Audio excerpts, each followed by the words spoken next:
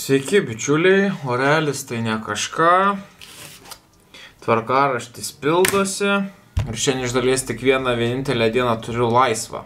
Negana to, dar šiandien gavau laišką vėl iš gamtosaugos.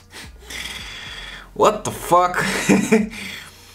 Parašė labą dieną, anksčiau bendravome dėl šaukimo atvykti aplinkos, aplinkos apsaugos departamento, bla bla bla bla bla, ir išaiškinti aplinkybės.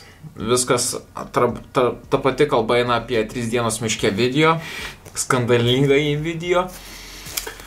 Ir nurodyti, kad iš kelionės grįžti lapkričio mėnesį. Ar jau grįžote iš kelionės? Taip pat uh, galėtume nurodyti savo telefono numerį. Ir aš tada jai parašiau, sakau, laba diena, taip šiuo metu esu grįžęs ir aš jau sumokėjau baudą, nes aš gavau laišką, tada atsimet, gal kaip pasko kelionės metu. Asmenys siūloma iki 2.20 spalio 30 sumokėti 15 eurų baudą. Gausi dvi baudos, kurias sujungia į vieną. Tai viena yra buvo ten už deginimą laužą, regioninio parko teritorijoje, nelaužavietėje ir už du vienis įkaltus į eglį ir nulaužtus eglišakius ir porą lasdynų nupjautų. Bendroje sumoje gausi 15 eurų baudą. Ir aš ją sumokėjau prieš 2-3 dienas. Nu kažkas tokio, bet spėjau tą limitą.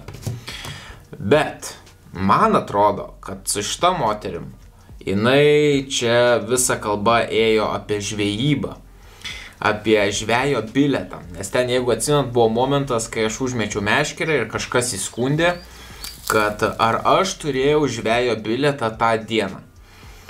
Na, nu, ką aš buvau kelionė, sakau, aš jos užklausiu, tarsi, aš dabar kelionė ir galiu atvykti po kelionės, lapkritį. Ir va, dabar parašė. Tai man atrodo, čia eina visa kalba apie žvejo biletą, o ne apie kažkas vėl skambina. Stop. Taip, klausau. Labas, Aurimai. Indrė, iš 15. O, labas, Indrė. Sorry, kad tave čia taip trukdau, labai nenoriu, bet čia tokia situacija turėjau vakar. Na, Policija paskambino. nu, Sako, mūsų sąraše jūs turite būti saviliza- saviizoliacijai. Sak, ar ne? sako, galite išlysti pro langą, o aš Vilniui sėdžiu su draugais. Tai žodžio, sakau, ką žinau, aš laiku grįžau, žinai, orientavausi, kaip tu ten rekomendavai pasidaryti testą, jeigu neigiamas vengti tų viešų vietų, bet civilizacija nebūtina. Bet tai ką tau e, nacionalinis visuomenės centras sakė? Aš tik gavau žinutę į telefoną, bet ten ne tai, aš nemanau, kad man ten buvo konkrečiai man, nes jie matė, aišku, mano kontaktus, nes aš užpildžiau tą, žinai, blanką prieš atvažiuojant į Lietuvą. Tai man e, tiesiog atėjo žinutė, e, Sam prašo visų atvykusių iš užsienio užpildyti anketą, kurią aš užpildžiau. Atvykus iš COVID-19 paveiktų šalių, linkas privaloma izoliuotis. Jo, tai čia vakar buvo tokia smagioji žinia, kai policija prisistatė prie mano langų, aš buvau tuščiame e, KFC ir siunčiau nuotraukas sėdėdamas su kaukė. Ir policija sako, tai pagal mūsų sąrašą jūs turite būti karantinė, saviizoliacijoje. Nu, pas mane pro langus tai niekas tikrai negalėjo išlysti vakar. Bet va, Indrė sakė, kad, nu, ta prasme, čia bus lepsusas, nes visų pirma, sako, tau turėjo su tavim susisiekti sveikatos ministerija, kad tau pranešti skambučių žinutę, bet kaip turėjo jau. Jeigu ne, vienu būdu nepasiekė, tada kitu būdu pasakyti, kad aš turiu būti užsidaręs, tai aš jau šito visų pirma nedariau. Ne, negavau visiškai. Antras dalykas, aš elgiausi taip, kaip tuo metu buvo viskas nurodyta, kai aš išvažinėjau iš Rumunijos, e, e, buvo tokios sąlygos, kad 48 valandos iki šalies atvažiavimo kirtimo Lietuvos sienos pasidaryti testą, aš taip ir pasidariau Vokietijoje ir man kelyje atėjo rezultatas, rezultatas buvo neigiamas, tai sako viskas tvarko, ta prasme, man policija išrašė tipo kaip nusižengimą, nes jie pasakė, kad aš iki šeštos dienos, tai yra rytojaus, turiu būti izolacijų, ten, antros nakties. Nu tai sako, mes tau šeštą dieną skambinam, atvyksi į komisariatą ir tada ten pasiaiškinsi, kokia ten tau situacija buvo ir panašiai. Gerai, sakau, testą turiu neįgiamą, viskas tvarkoja, tai... Tai prasme, sakau, vykdžiau, vykdžiau pagal tuo metu esančias sąlygas. Paskui tenais, žinau, vėl viską sugrįžtino, tai iš dalies laiku grįžau, bet, nu, kai rašėt ten pildę tą anketą? Nu, aš užpildžiau anketą, viskas kaip ir ten, aš nežinau, ar ten buvo toks klausimas dėl to testo, bet jeigu ir buvo, tai tikrai rašiau, kad neigiamas. Tai jo, aš galiu tada jums į paštą atsiųsti. Jo, tai aš tada gal atsiųsiu jums savo elektroninį paštą policijos ir jūs tada man atsiųskit ir automatiškai tada kaip ir pažeidimo nebus, jeigu jūs ir išėjot, nes automatiškai jums ta saviizolacija yra netaikoma. Tvarkoj, tai tada atsiųskit žinutę paštą ir aš... Gerai, aš atsiųsiu elektroninį paštą ir jūs tada man atsiųskite būtent, kad neigiamas ir kad būtų būtent iki grįžimo tos 48 valandos jisai darytas, kad, Taip, kad atitiktų taip. tie tokie laikai. Tvarkoj. Tvarkoj. Gerai, tai tada aš tuo atsiųsiu paštą ir lauksiu jūsų to Gerai. informacijos tos. Gerai, Gerai. viso. Dėkui. Nu, pati policija paskambino. Siūsim, siūsim laišką. Turiu aš tą testą, neigiamą viską, PDF failų. Taip, klausau. E, Dar kartą iš policijos trukdau. Taip. Klausykit, dabar tas e, forgeris blankas, kurį atsiuntėt, jisai yra užrakintas, nu, neleidžia jį patekti, ar jis turėjo kokį slaptažodį? Jo, aš parašiau slaptažodį. Aha, tuoj, žiūriu. Prirašiau tekstuką. Ai, va, mhm, radau. Tuoj, viskas gerai, tada jeigu jau atsidarys, tada. Nes ir man jie atsiuntė vokiečiai su, su užrakintu. Tai va, va, nes mes atsidarom ir rodo, kad jisai užrakintas. Pasižiūrė, ar atidaro, va, viskas tvarkoja, viskas atidarė. Gerai, tai tada tik tiek, ačiū. Ieškau, prašau, viso. Nu, tikėkime, viskas dabar bus gerai.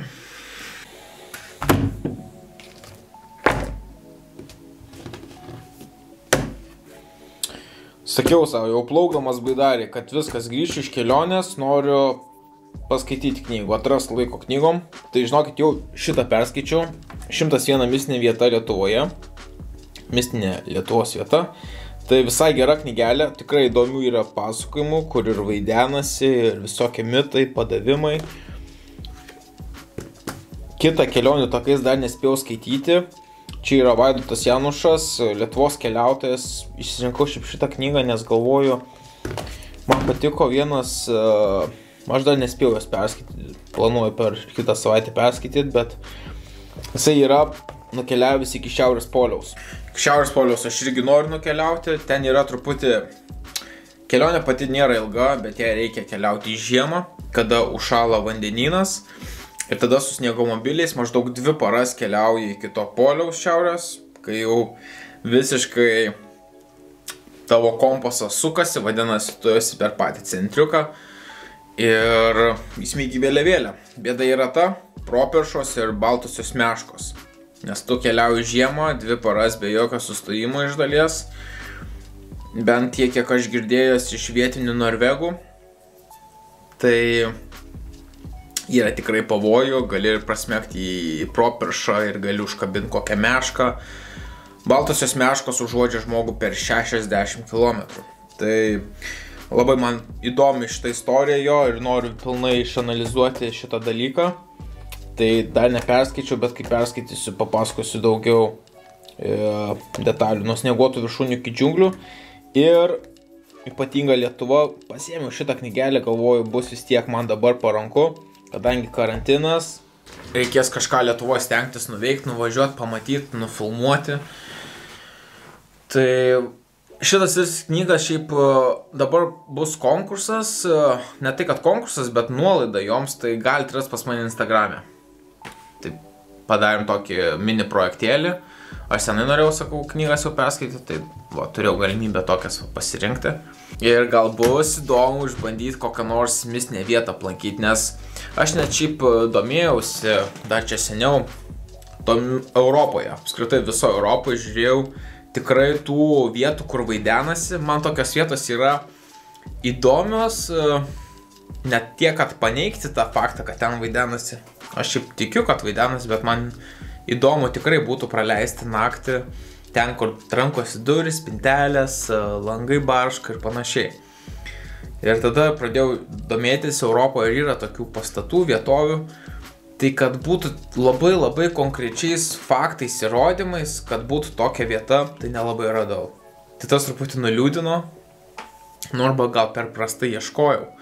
Bet va taip pasistatyti palapinę vidury namuko, įsitiesti mėgmaišį, kilimėlį, pasileidi kokį pleisteką pagrainti ir ten vaidenas tau aplinkui. Aš norėčiau tai va. iš, iš tos tikrai baugius, tos, kur tikrai tikrai vaidenas, bet, nu, kiek ieškau, tai neradau. Gal jūs žinot? Jeigu žinot, atsiųskit, e, koks tai pastatas, kurioje vietoviai. Būtų, manau, verta net nuskristi, jeigu, jeigu reikėtų skristi. Tai toj mistiniai vietoj Lietuvos tai yra keli dvarai, kurie, kuriuose vaidenasi, čia viskas aprašyta. E, bet labiau gal tokie padavimai, mitai, tokios legendos, tai visą tokia įdomi knygelė, mažytė, greit susiskaitė, įdomiai. Man parašė laišką KTU universitetas, kad, nu, dabar, kadangi nuo šeštadienio paskelbė karantiną, tai nebe išeis mėnesio vidury arba pabaigoje suorganizuoti susitikimą su jumis. Auditorija nebus galima naudotis. Tai sako, jeigu nori, gali tą visą pristatymą savo kelionės daryti, nu irgi per webą gyvai, live. Nesakau, nesąmonė. Prasme, sakau, geriau išlaukiam karantino pabaigos, visi susitiksim ir bus kur kas, kur kas smagiau. Sorry, kad toks vlogas, bet tiesiog žiauri, žiauri busy day. Čiau.